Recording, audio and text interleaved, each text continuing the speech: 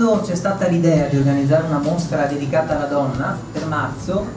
l'idea iniziale era quella di proporre una carrellata di dipinti che parlassero della donna, della raffigurazione della donna. Poi però,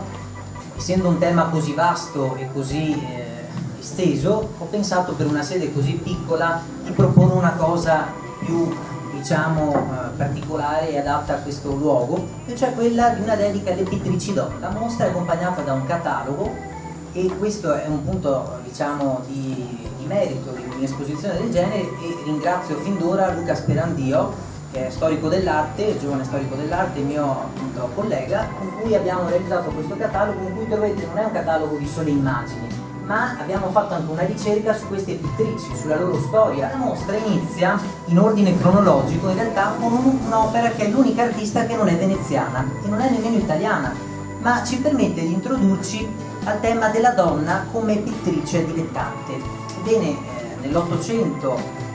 come sappiamo, la storia dell'arte non è così ricca di donne pittrici, ma questo ovviamente lo sappiamo, come viene indicato nel catalogo, è la conseguenza del ruolo sociale a cui è stata appunto legata la donna e da cui si è potuta emancipare diciamo a partire dall'Ottocento. Ma si inizia quindi con una pittrice inglese, Susan Percy, un pezzo davvero particolare e raro, una pittrice inglese che verrà in Italia a dipingere numerose vedute, una pittrice di origini nobili che raffigura un paesaggio, una pittrice che però non lo faceva per mestiere, ma appunto vivendo nell'agio e nella ricchezza si permetteva nei momenti così svago e di poesia di dipingere. Ed ecco allora questo acquerello straordinario in cui in questo clima romantico vedete questo personaggio che osserva che sembra, siamo nel 1802, eh, una pittrice nata nel 700 questa, e vedete che questo personaggio osserva e contempla il paesaggio sublime, un'anticipazione quasi del romanticismo di Friedrich, in cui l'uomo di spalle ammira e contempla il paesaggio. Si prosegue con due disegni di Fanny Triangi, anche in questo caso ci introduce il tema della pittrice dilettante. Questi provengono da un dilettante fino a un certo punto, perché hanno una qualità quando vi avvicinerete particolarmente elevata. Ma eh, ho trovato quest'album in cui erano con questa donna, siamo intorno alla metà dell'Ottocento, 1850-55, questa donna in un album raccoglieva le sue poesie, le sue lettere d'amore, i suoi disegni. E ecco allora questi disegni di rovine, di gusto anche questo prettamente romantico, in cui vediamo appunto questo gusto anche, no? vedete questi alberi che si sembrano quasi prendere una forma così gotica nello spirito. Si inizia poi la carrellata verso quelle che sono le pittrici effettivamente venete. Iniziamo da una pittrice poco conosciuta, che sarà la moglie di un grande pittore, di un grande acquarellista, Raffaele Mainella, Fanny Carlini e una pittrice che fu tra le prime pittrici diplomate all'Accademia di Belle Arti di Venezia nel 1878. E vedete questo paesaggio che è veramente eh, particolarmente originale perché vediamo la commissione di due elementi. Qui siamo intorno al 1870-1880, non è datata ma diciamo questa è l'indicazione temporale vediamo che c'è quel paesaggismo che Ciardi, Guglielmo Ciardi realizzava all'epoca, però c'è anche una citazione della pittura antica. Siamo in un paesaggio di bareni, in mezzo a questa zona lacustre e vedete la resa anche della vegetazione di queste canne lacustri particolarmente dettagliata, e però vedete dei personaggi, questo suona un flauto disteso in mezzo alle barene quest'altra donna sembra seduta a contemplare il paesaggio, sembrano quelle, le figure che ritroviamo nella pittura dell'Arcadia del, del 600 e del 700, ad esempio in Zuccarelli, in Giuseppe Zais, che lei cita, essendo pittrice ovviamente veneziana, ben conosceva eh, questi, eh, questi riferimenti tra l'altro presenti anche nella collezione dell'Accademia, e le cita però in, una, in, un clima appunto di grande modernità, anche di paesaggismo veneto dell'Ottocento. Si prosegue con un'opera, ahimè fuori catalogo, ma che ho scoperto pochi giorni fa e ho voluto subito inserire in mostra, l'autoritratto di un'altra pittrice moglie di un pittore, ahimè, più famoso, la moglie di Remigio Buter, che è Adele Zucchetti,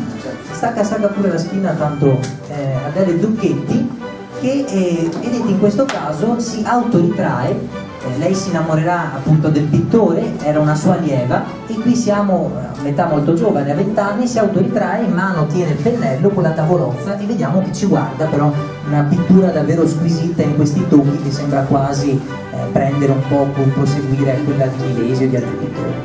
Si prosegue da questa parte con un'altra pittrice, in questo caso un disegno a sanguigna di Lina Rosso Lina Rosso, grande pittrice eh, veneziana, eh, che, che, diverrà grande amica, amica, di Puccini, il quale lo ritrarrà più volte. E vedete questo disegno inedito di Sanguigna del 1932 in cui eh, regala al padre di questa bambina eh, il ritratto della sua figlia mentre mangia davanti al piatto. Proseguiamo con due opere che invece sono della pittrice forse più nota eh, a livello non solo nazionale ma pensate internazionale perché grande fortuna avrà in Inghilterra e in America ossia Emma Ciardi e i temi di Emma Ciardi sono quelli appunto legati a queste visioni di parchi, di giardini e del gusto neo-settecentista ossia di una ripresa di quella che era la Venezia del Settecento, di queste figurine, vedete, in abiti antichi che si muovono all'interno del parco. In questo caso probabilmente questa veduta, pur non avendo nessuna descrizione all'interno, eh, pur non avendo nessuna descrizione, potrebbe trattarsi del giardino di Boboli, eh, appunto eh, di Firenze, perché la pittrice ne aveva realizzate una serie, questa sembra proprio rientrare, in cui queste statue al sole in un pomeriggio d'estate sembrano appunto animarsi in queste bellissime siepi questo parco. Si prosegue con un'altra pittrice totalmente dimenticata, ignorata, di cui non troverete nulla eh, negli ultimi tempi. Una pittrice, pensate, nata nel 1892 e che fu tra le fondatrici del premio Mestre, o meglio, non tra le fondatrici, scusate, tra le prime partecipanti del famoso premio Mestre nato nel 1958 e che stiamo riportando in auge tra l'altro col Circolo Veneto lo riproporremo anche quest'anno, ma questa pittrice, vedete, sembra in qualche modo realizzare le nature morte ispirandosi a Morandi. E lo vedete tra l'altro in questa eh, bella natura morta, in questa composizione in cui queste bottiglie, questi elementi sono posti in una, eh, anche in un clima così di malinconia in cui si eh, contrappone questa luce dorata che esce da questa, eh, da questa finestra. Una pittrice anche questa purtroppo poco ricordata che venne espose diverse volte in occasioni importanti a Venezia, ma poi, ma poi appunto sparì nel, nel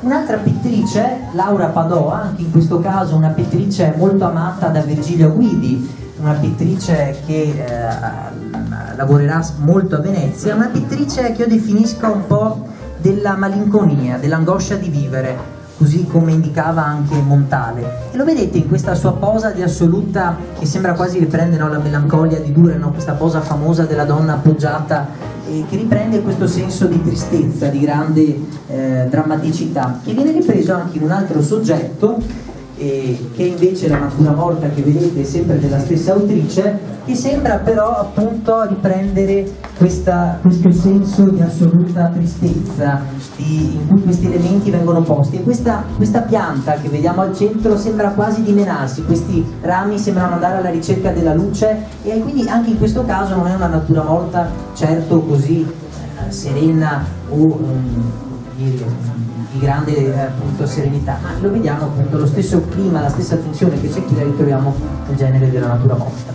Un'altra pittrice, in questo caso Mestrina, che anche in questo caso partecipò anzi fu, lei sì, fu proprio tra le organizzatrici del premio Mestre, fu Andreina Kerpreguazzo e lo vedete in questo bel acquerello di rose eh, appunto in cui vediamo la grande padronanza del genere dell'acquerello con questi fiori, con questa bella resa appunto eh, coloristica e questo gioco sui contrasti di luce, vedete, che vengono dal fondo. Un'altra pittrice particolarmente interessante, nata in Istria nel 1908 e che poi morì a Mestre negli anni 70, in questo caso ahimè dimenticata, è Yolanda Ballarin. E lo vediamo in un paesaggio così di clima quasi di ispirazione a Gino Rossi, alla grande tradizione del paesaggismo anche così veneto, nel Novecento, e poi in una bella tela che raffigura invece la Madonna della Salute di Venezia, in cui vediamo un grande senso di dinamismo, una pittura quasi espressionista per, alcuni, eh, per alcune pennellate così rapide, questo fiume che sembra quasi più un torrente di montagna con una corrente molto forte e comunque una pennellata ecco, molto eh, dinamica, molto rapida. Si prosegue con due opere particolarmente preziose perché si tratta di due affreschi di Valeria Carli, una pittrice che fu la vera pupilla di Saetti e, e in questo caso la prima opera è un'autentica rarità perché si tratta di un ritratto di Felice Carena. La pittrice ritrae Felice Carena all'età di 85 anni e quindi forse uno degli ultimi ritratti di Carena. Carena amava anche molto autoritrarsi ma lo fece fino a una certa età e due anni dopo il pittore sarebbe scomparso, però questo senso di presagio della morte lo vediamo già nel suo volto, che è un volto triste, un uomo che sta guardando al passato, che certo non ha un futuro di grande eh, di arte e di continuità. E tra l'altro gli anni in cui Carina viene ritratto così, dipingeva le famose nature morte con le conchiglie e con degli altri elementi che erano quasi un presagio della morte, in, in questo caso viene visto come una sorta di allegoria e di anticipazione simbolica della morte. Lo vediamo in questo sguardo di grandissima intensità con la barba, con, questa, già, con questo gilet così un po' raffazzonato. Nell'altro caso si tratta invece, io penso, di un autoritratto. Valeria Carli ha realizzato molti dipinti di questo genere e vengono definiti anche nei cataloghini che ho trovato insieme al mio collega Luca alla Bevilacqua alla Masa come donna con camice ma in realtà se ci pensiamo bene non può che essere un autoritratto perché se vi girate alle vostre spalle vedete l'autoritratto della pittrice e come si fa l'autoritratto? la pittrice che ci guarda con in mano il pennello Valeria Carli non usava il pennello realizzava affreschi e quindi non poteva che avere in mano la cazzuola la cazzuola con cui si realizza l'affresco. Ecco perché questo non può che essere un autoritratto. E comunque vedete anche la commissione di più elementi, ovviamente la ripresa del, della tecnica di Saiti, ma anche così c'è qualcosa di bizantino, di, di arcaico in questa, in questa tipologia di pittura. Si prosegue poi con un'opera di Valeria Maravini, Valeria Rambelli, che sposò il pittore Ottone Maravini. Anche in questo caso una pittrice totalmente dimenticata una grande pittrice perché amava la pittura antica, amava la pittura del Rinascimento, ne emulava le tecniche. Ecco che questa è un'opera a tempera su tavola, così come dipingeva Bellini o Carpaccio e vedete la ripresa di questa donna, questa Venere l'ho definita, no? questa donna che sembra riprendere un po' Tiziano, Palma al Vecchio, il grande rinascimento veneto, ma poi anche la pittura del 400, questo invece sembra Piero della Francesca, questa scena di banchetto che vedete. Ecco, lei amava questa pittura e lei avrà molto successo, parteciperà anche alla Biennale di Venezia, ma poi si ritirerà in campagna e vivrà gli ultimi anni della sua vita, anzi gran parte della sua esistenza, pur essendo morta a una buona età, in campagna. E in campagna viveva una vita contadina, dipingeva ma forse no, non gli interessava vendere. E, e, comunque il tema della campagna così lo vedete anche in quella piccola tavoletta, sempre di Valeria, in cui eh, vedete questa donna con la falce che eh, si muove anche in questo caso in una citazione così della pittura antica arcaica. Si prosegue poi invece con un'opera di Ida Barbarigo. Ida Barbarigo, pittrice che era la figlia di Cadorin e la moglie di Zora Music e eh, quello che vedete in questo caso è una piccola opera del 79 ah, da notare che probabilmente questa è la prima mostra in cui una sua opera viene esposta post mortem perché è morta un mese e mezzo fa a gennaio. E quindi ha una, insomma, età ragguardevole quasi più di 90 anni e, e farà diverse ricerche nel corso della sua lunga carriera, ovviamente ispirate anche a quella che era l'arte di suo marito, lo vediamo in questa ha qualcosa di zona musica, ovviamente anche quest'opera, ma uno dei temi che riprende è quello degli inquisitori. Nel 79 era un po' ossessionata, un po' forse come Berlusconi, dai magistrati, dalle figure dei giudici, da questi eh, personaggi davanti a un tavolo che hanno il potere di fare una sentenza, di eh, come in qualche modo decretare il destino di una persona e, e, tutti questi personaggi vengono raffigurati come dei fantasmi, emergono come dei fantasmi da un fondo scuro, bianco, un po' spettrale e ne realizzerà tutta una serie, anche i banchieri, sono una, anche una forte critica, se vogliamo così, alla società. La mostra termina invece con Sara Campesan. Sara Campesan, grande artista mestrina, morta nel 2016, quindi anche in tempi recenti, penso un artista, lo dico dato che sono anche critico, su cui investire, nel senso che è un artista che purtroppo non ha avuto la forza di mercato che hanno avuto altri artisti, ma devo dire che la sua ricerca è particolarmente interessante. E lo vediamo in un'opera e anche, anche, lei ovviamente ha fatto per, la lunga carriera, ha avuto più ambiti di ricerca da composizioni in cui la forma geometrica sembra essere un continuo cambio di dinamica, ma lo vediamo in questa composizione che sembra quasi un omaggio, se vogliamo, a Fontana, ossia quello di non dipingere, di non disegnare, ma di aprire la strada ad una terza dimensione, che è quello di forare la materia, la superficie. E lo vediamo in queste linee, in questi segmenti, in questi raggi, appunto che eh, sono costituiti da piccoli bu bucherellini sulla carta, buchetti e eh, grande artista anche lei che, eh, quindi la mostra termina con un'opera, insomma l'unica opera fuori con una ricerca formale particolarmente Diciamo che nella storia tra 800 e 900 le ricerche erano molto interessanti ma non hanno avuto purtroppo la fortuna che meritavano questi artisti. Vi ringrazio.